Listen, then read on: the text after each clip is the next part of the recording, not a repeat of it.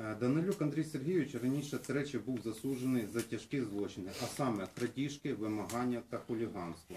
За останнім вироком був засуджений за особливо тяжкий злочин, а саме вимагання, заподіяння тілесних ушкоджень, хуліганство до 8 років позбавлення волі.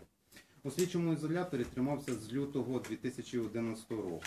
За порушення умов відбування покарання до нього неодноразово застосовувалися заходи стягнення. Він перебував на обліку як особа схильна до нападу на персонал установи, е, підтримував злочинні традиції, здійснював негативний вплив на ув'язнений. На заходи виховного впливу не реагував та ігнорував їх. В той день засуджений Данилюк мав бути етапований для подальшого відбування покарання до однієї із установ виконання покарань іншої області.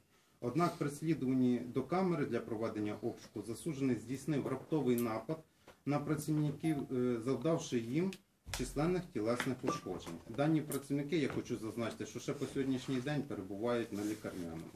За даним фактом, поліцією проводиться кримінальне провадження за ознаками скоєння злочину частиною 2 статті 342 та частиною 2 статті 345 Кримінального кодексу України щодо опору працівникам правоохоронного органу та заподіяння їм тілесних ушкоджень е, у зв'язку з виконанням службових обов'язків.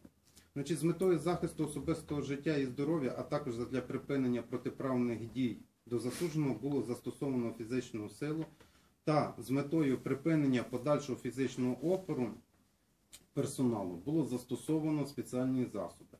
Я хочу наголосити, що фізична сила та спеціальні засоби застосовувалися тільки для припинення протиправних дій засудженого. Будь-які інші предмети, так як це неправдиво вказувалося в деяких засобах масових інформації, а саме застосування там металевих прутів чи молотків, до засудженого Данилюка не застосовувались та взагалі не могли бути застосовані.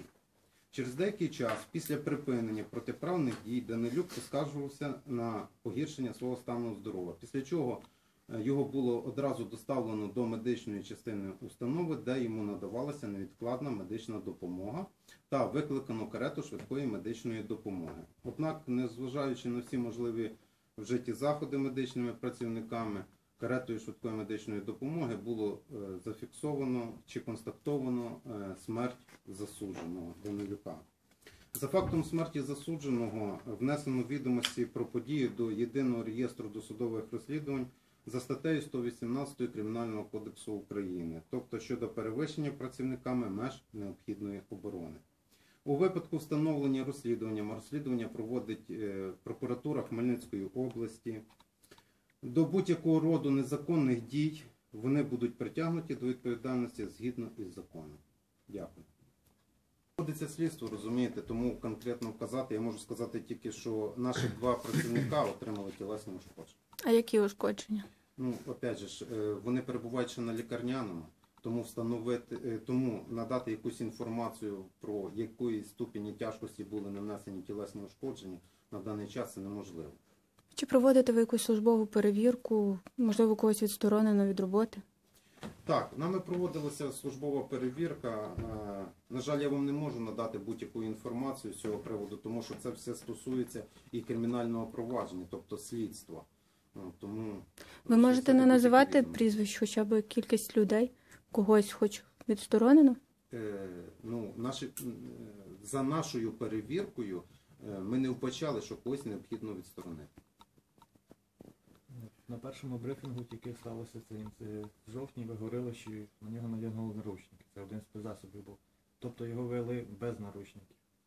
Після того, як е, він е, чинив опір, тобто напав на працівників та чинив подальшому опору, з метою припинення його незаконних дій, так, до нього застосовувалися наручники. Ну я ще раз кажу, для того, щоб мені зараз сказати, які ще спецзасоби були застосовані і яким чином, я не маю права це розголошувати. Ну а чому тоді, якщо він був е, буйний, схильний до нападу, його вели без наручників? Я ж кажу, це все буде встановлювати слідство. Розумієте, я зараз якісь надавати вам інформацію, я не уповноважений. Е, Скажіть, будь ласка, тут е, пише, що його мали етапувати, так? На в іншу, в інше відділення, на іншу область чи Ну, іншу е, виправну колонію іншої області. Так. добре. А чому не було повідомлено родичів там вже за день, за два має бути поставлено до відома дружина, мати, батько, неважливо. Зі слів дружини її ніхто не попереджував, що її чоловік має бути переведений. Чому так? Е, Значить, е, я вам розкажу не тільки як іменно по цьому випадку, як взагалі це передбачено. Значить, інструкцію, ну на жаль, я вам її не можу сказати, яка вона є для службового користування. Ну скажу і та іншими нормативними актами, які передбачають діяльність слідчого ізолятору, особливо персоналу. Е, Передбачено тільки те, що е, ув'язнений чи засуджений повідомляється про те, що він повинен вийти з камери і які взяти з собою речі. Про те, що він буде направлений до будь-якої виправної колонії, це взагалі заборонено нам говорити.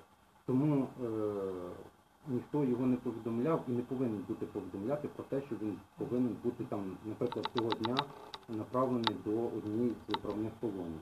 І ще хочу е, наголосити, що у відповідності до статті 20 Кримінального виконавчого кодексу тільки після прибуття до виправної колонії протягом трьох діб повідомляється суд, який постановив вирок, та один із е, на вибір засудженого близьких родичів про те, де він знаходиться для відбування подальшого покарання.